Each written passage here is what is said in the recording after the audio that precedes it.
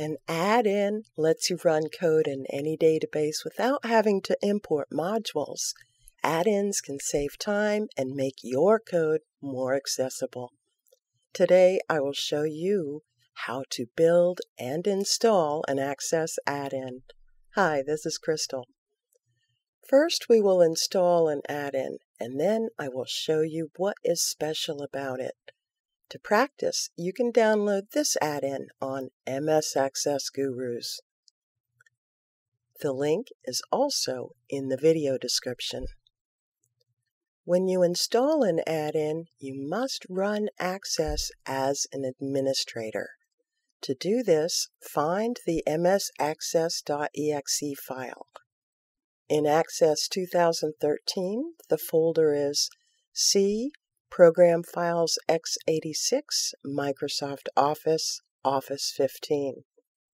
You can also make a shortcut and use that instead. If you don't run as an administrator, you will get an error, and your add-in won't install properly. If you open another database normally, even though you're running as an administrator, it will knock out the administrator privileges. In Access, open any database. The add-in I will demonstrate first documents the SQL statements in queries, forms, and reports, tests each statement, and shows which ones are bad. The reports are written to Microsoft Word. This is the Forms report. Records are counted and bad SQL statements are noted.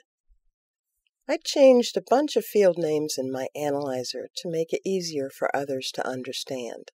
This add-in will show me which SQL statements don't run and need to be modified. The quick way to install an add-in is to go to the add-ins icon on the Database Tools ribbon tab. I already have one add-in installed, which is a command bar tool by Delphi. Now I want to add another one, so I choose the add-in manager. When the dialog pops up, choose Add New. The folder displayed is where Access will put the add-in once it is installed. Browse to the folder with the new add-in. To save time, I like to copy the path to the Windows clipboard and then paste it in the file name box.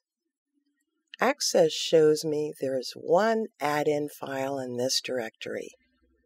An add-in has an ACCDA extension. If you are using a lower version of Access, this will be MDA. I pick the file and click Open. The add-in now shows in the dialog box. The information listed below comes from Add-in Database Properties for Company and Comments. I close the dialog box and go back to the manager. My add-in is successfully installed and ready for me to use. Another way to install an add-in is by going to the File menu, then Options, and add-ins. I have two Access add-ins and one COM add-in installed. A COM add-in is not application specific, such as VB Watchdog for easy error handling by Wayne Phillips on everythingaccess.com. To install another Access add-in, at the bottom, drop the Manage list, choose Access Add-ins, and click Go. This takes us to the Add-in Manager, which is the same dialog box we saw before.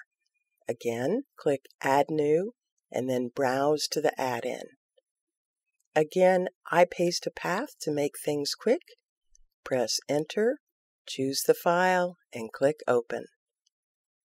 This add-in saves the layout of my tables, so when I close them or close Access, I can restore their positions and sizes. It is like Excel's Save Workspace feature.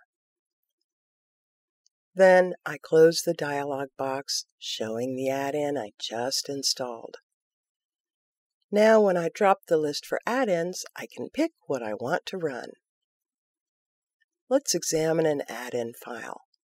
Even though it has an ACCDA extension, In this case, it is just an ACCDB that has been renamed. This means that you can open it and see what is inside. Double-click the add-in file and Access opens it. So that Access knows about the add-in, you must create a registration information table. This table is called USysRegInfo. In order to see it, because the name starts with USYS, denoting a user system object, you will have to make sure you can see system objects by checking the box in the navigation options. The USYS Reg Info table must include these fields subkey, short text, type, long integer, val name, short text, value, short text. The subkey correlates to the registry key where the add-in information is stored. Type is the type of entry. 0 is key, 1 is string, 4 is dword. Val name is the registry value name. Value is the registry value. You must specify the key, the library location, and the function name to run. Other entries are optional. Now let's talk about the data. In the subkey, HKey Current Access Profile menu add-ins is replaced with the branch in the registry. For me, this is HKey Local Machine, Software, WOW 6432 node, Microsoft, Office, 15.0, Access, Menu add-ins. HKey Current Access Profile makes the add-in go where it needs to be in HKey Local Machine, or HKLM, depending on the version of Access used when the add-in is installed. To make a hotkey that is underlined when the menu item is displayed, preface the hotkey character with an ampersand. The subkey is repeated for each entry corresponding to that option. There must be a record with type equals 0. There must also be a record with type equals 1, val name equals library, and value specifying the path to the add-in. This is the path once the add-in is installed, not the path where you put the file to install. When you install the add-in, the file will be copied to this location vertical bar ACCDIR backslash will be changed to the library path. For me, this is C colon, users, crystal, app data, roaming, Microsoft, add-ins. Finally, there must also be a record with type equals 1 and val name equals expression. The value is prefaced with an equal sign and then specifies the function to run.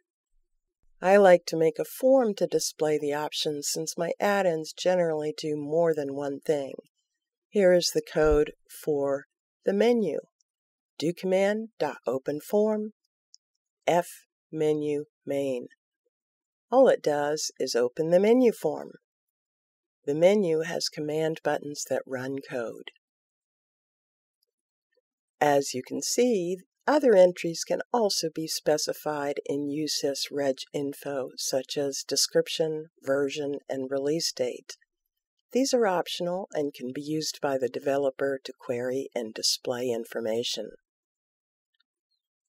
When the add-in is installed, information from the company and comments database properties will show. To run an add-in, you can drop the add-ins list and choose what you want even though the form to document SQL is not in this database, it looks like it is. Oh, another gotcha might be the database sort order. As its name implies, this affects how things in the database are sorted. I got bit by that a few months ago, but it didn't seem to matter today. I'll tell you about it anyway. Set the database sort order to general for both the add-in and the database you are using to install it. If you need to change the database sort order, it will take effect when you compact and repair the database. In summary, change the file extension of the add-in to ACCDA or MDA. Use General for the database sort order. Set the navigation options to show system objects.